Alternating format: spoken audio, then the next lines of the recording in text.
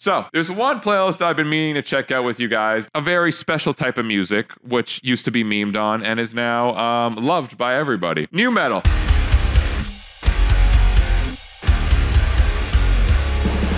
What's up, everybody? I'm Finn McKenty. This is the Punk Rock MBA, and over the past few years of making videos, one thing has become very, very clear to me. Absolutely everybody loves nu metal. And it's not just old people like me who are there at the beginning and trying to like relive the glory days. There's a whole new generation of people. It's also these Deftones loving e girls on TikTok who mostly weren't even born when Korn was battling Backstreet Boys for the top spot on TRL. It's rappers like Lil Uzi Vert the Sick New World Festival just happened and was sold out, I think, in like half a day. And according to Google Trends, interest in nu metal is at the highest point it's been in 20 years. And the honest truth is that even though nu metal basically died in the mid 2000s, with the possible exception of emo, nothing in the rock and metal world has come along since then that's had that same kind of mass appeal, staying power, and incredibly broad influence. And the question that I want to ask is why? Why is nu metal's popularity surging, and why hasn't anything else in the last 20 years of rock and metal been as popular as nu metal? Those are the questions that I will answer in this video.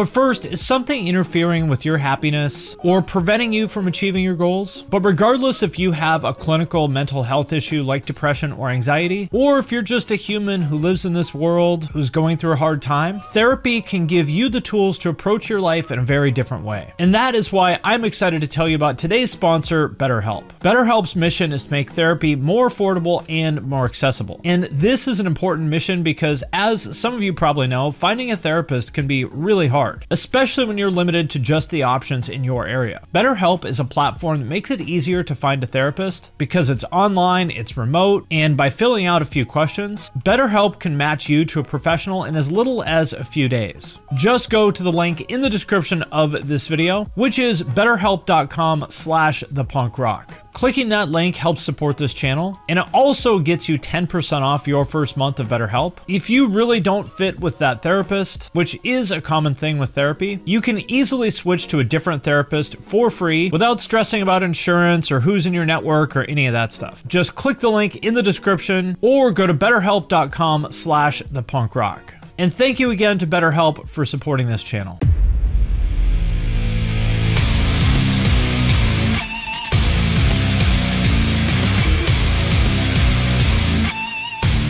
So first of all, let me talk about exactly what I'm seeing, and then we can talk about why it's happening. I've been on YouTube since 2017, and the one type of content that pretty much reliably gets more views than anything else is nu metal, which initially was kind of surprising to me because if you were around back in the day when all that stuff came out, you'll remember that all the critics, the older bands, and the media all pretty much universally hated nu metal. For example, here's what Entertainment Weekly said about Slipknot back in 2001. Slipknot, a god awful gaggle of corn fed, mask wearing Midwesterners who identify themselves not by names but by numbers 0 to 8, are the current Lucky Ducks. Their second album, Iowa, has arrived on wings of hype and buzz. It's an almost unrelentingly brutal disc that, like so much of nu metal, often seems like a parody of itself. But that was 22 years ago, and the tables have definitely turned.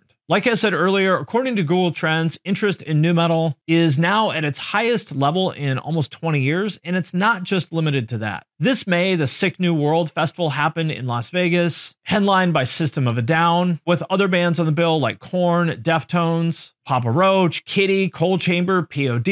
If you didn't know better, you would swear you were back in 2003.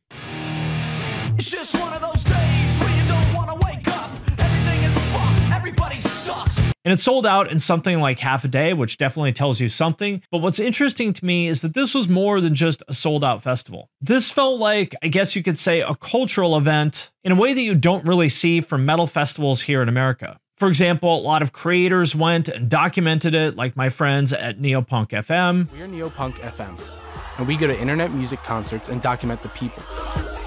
And since nu metal is getting popular on the internet, we knew we had to go to the most hyped nu metal festival of the year, Sick New World. There were even some, I guess you could say, like relatively mainstream creators there, like SSSniperWolf.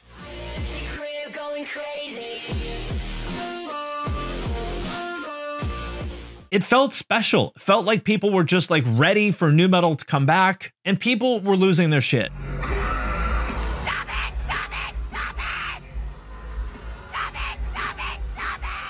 And speaking of Deftones, if My Chemical Romance were kind of the flagship band of the emo revival, Deftones are the leaders of the nu metal revival. And what's really interesting about it to me is that just like with MCR, the Deftones revival is not just old people. In fact, if anything, I would say that the majority of Deftones fans that I see now are these younger Gen Z people who discovered the band through TikTok.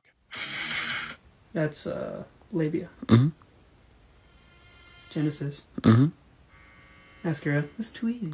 But it's definitely not just Deftones. Younger people are into all the nu metal bands from Limp Bizkit Everything is fucked. Everybody sucks. You don't really know why, but you wanna justify ripping someone's head off. to Slipknot.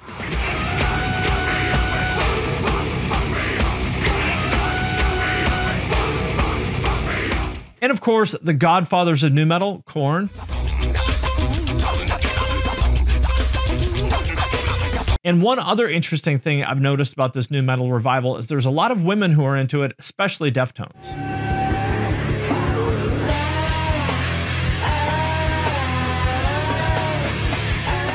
which I think is a great thing to see because the sad truth is that metal has been kind of a sausage fest for a while now. And it's also encouraging from just like a bigger picture perspective because if you notice, the scene is always bigger when there's a lot of women who are involved. For example, the 2000s pop punk era with Blink and Good Charlotte and all that stuff. And then a few years later, all the emo stuff in the 2000s, like Panic at the Disco and Paramore, or all the metalcore and deathcore stuff of the later 2000s, like Asking Alexandria, Suicide Silence, Pierce the Veil, all that stuff, when the MySpace scene girls were kind of the key demographic. And to me, the TikTok Deftones girls are really just an updated version of the MySpace scene girls from 15 years ago.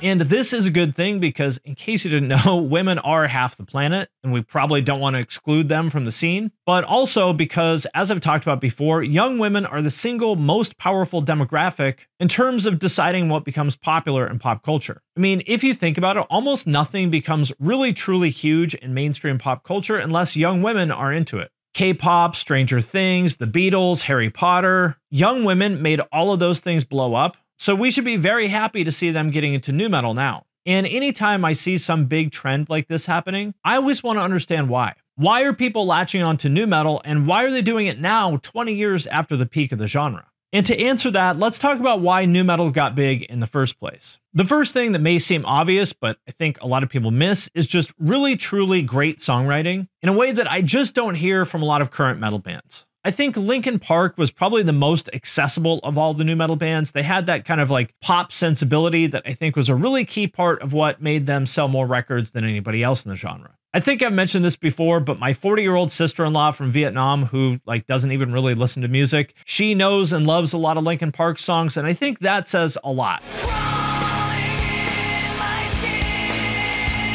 I mean, you could play this for just about anybody who's into any kind of music and they would appreciate it. Linkin Park could get played on the alternative rock station, on the mainstream rock station. Some of their later stuff could and did even get played on pop radio. And how many modern metal bands could we say that about? And you can say what you want about Limp Bizkit. Personally, I think they're kind of corny, but their songs get stuck in your head like peanut butter on the roof of your mouth. I mean, it is just straight up fun to sing along to something like Break Stuff or Rollin'.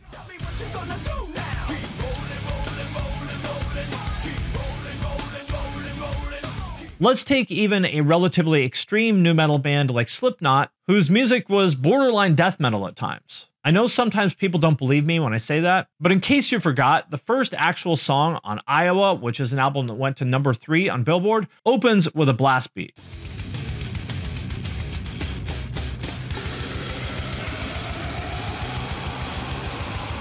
But even being so heavy, Slipknot's songs were just incredibly catchy and full of hooks. Maybe not as accessible as Linkin Park, obviously, but still. It was almost like death metal with a pop sensibility. Or if you look at Korn, they were just incredibly twisted with lyrics about sexual abuse and all kinds of other like super dark stuff. These really noisy, sludgy riffs that even by today's standards are pretty intense.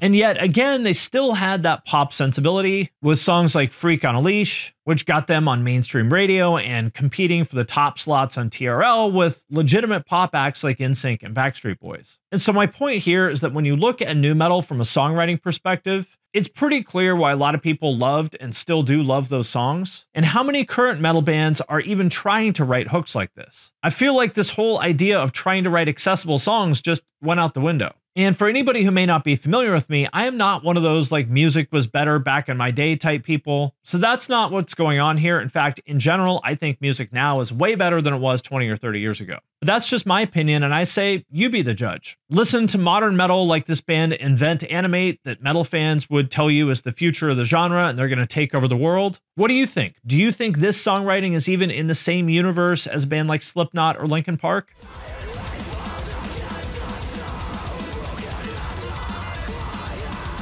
And if you like modern metal, that's totally okay. I'm not telling you to stop liking it. My point is just that yes, modern metal is obviously way heavier and way more technical than anything 20 years ago, but most people don't care about heavier technical. Most people care about songs. And so, of course, a lot of these young people are getting into nu metal because those are great songs. And if you're looking for great songs, well, modern metal has largely abandoned the whole idea of writing songs at all. I feel like a lot of it is guitarists just sort of throwing a bunch of riffs together to try to impress other guitarists. And the second big factor in the rise of nu metal, as well as its continued relevance, is that it was, for lack of a better word, a spectacle. I just did a podcast with Kyle from Brand of Sacrifice, and he said it perfectly. Nu metal bands looked like video game characters.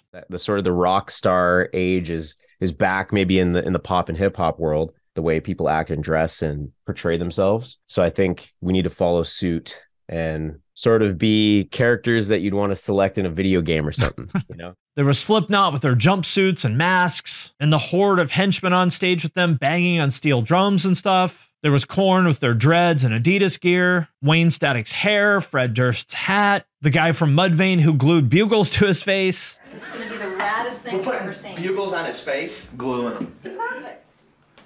And you paint them, we can make them, we can make them longer. And of course, all the B tier bands like Mushroom Head, Motograter, or Twisted Method, who maybe didn't have the songs, but definitely had the look. The point that I'm making here is that nu metal bands have always had some sort of visual trademark that set them apart. I want to use the word gimmick, but that feels like an insult, and I don't mean it that way. What I mean is that you can imagine picking them from the character selection menu of some imaginary N64 game that came out in a parallel universe. And beyond just the way that they looked, Nu metal was full of these huge personalities, these super charismatic people that you kind of just can't ignore. Fred Durst was the biggest example of this. I've talked about him before, but he was just all over the media. He was rumored to be dating Britney Spears. He got dissed by Eminem. He did that duet with Christina Aguilera. Or take Corey Taylor, for example, who is still in the headlines of the metal sites almost every other day with what does Corey Taylor think about what David Lee Roth said about what Axl Rose thinks about what Corey Taylor thinks. Which, on the one hand, is kind of funny, but I think really that just speaks to what a compelling person he is. They're still writing about him 25 years after Slipknot came out because people care what Corey Taylor thinks. There's also people like Serj from System of Down, Joey Jordison, Wes Borland, Jonathan Davis. Nu metal is just full of these people. And you can say that all the visual gimmicks and the gossip headlines shouldn't matter because it should be all about the music. But the fact is that it does matter. Because remember, this is the entertainment industry. People call it the music industry, but that's not really true. Because their job isn't just to show up and play their guitar, it's to entertain us, to put on a show. And right or wrong, Fred Durst is a very entertaining person. And Slipknot's crazy outfits are entertaining. It's like a WWE show, but metal. And where is all of that in modern metal? I feel like these days in the metal scene, it's almost frowned upon to be interesting or to stand out in any way. I think we need to end just wearing the regular band shirts on stage and the gym shorts.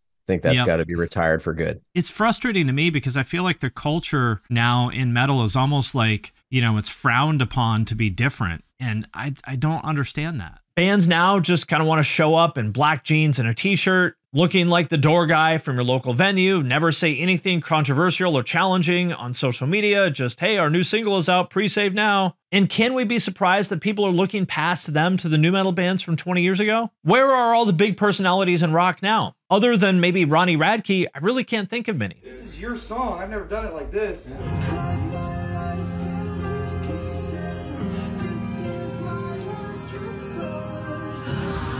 Oh, oh my god.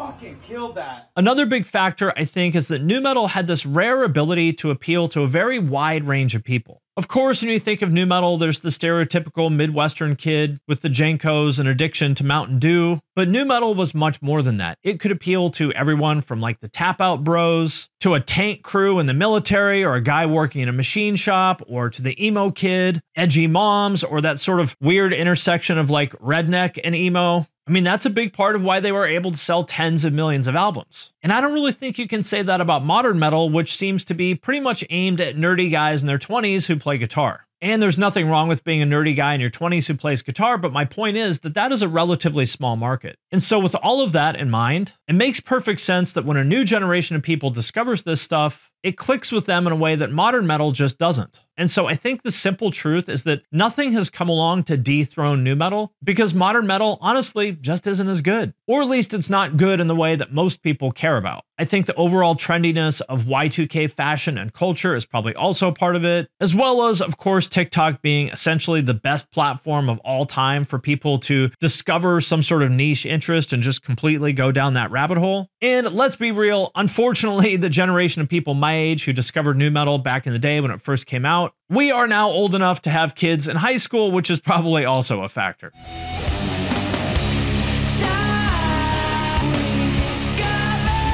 And so, my biggest question is what's next? Where do we go from here? I'm sure that some percentage of the Gen Z kids who discovered Deftones and Slipknot on TikTok will end up getting into Bad Omens, Lorna Shore, or Spiritbox because those are all great bands who are doing a lot of things right. But I think in general, if you care about the future of metal, then you should be worried that nu metal, a genre which peaked 20 years ago, is more compelling to young people now than 99% of modern metal. To me, that is a giant flashing red warning sign that all these modern bands need to do more than just copy Slipknot's riffs. They should be asking themselves much bigger questions than that. Like, what did Slipknot, Deftones, Korn, Limp Bizkit, Linkin Park, what did those bands do that we aren't? And of course, they should take a page out of Mudvayne's book and glue bugles to their faces.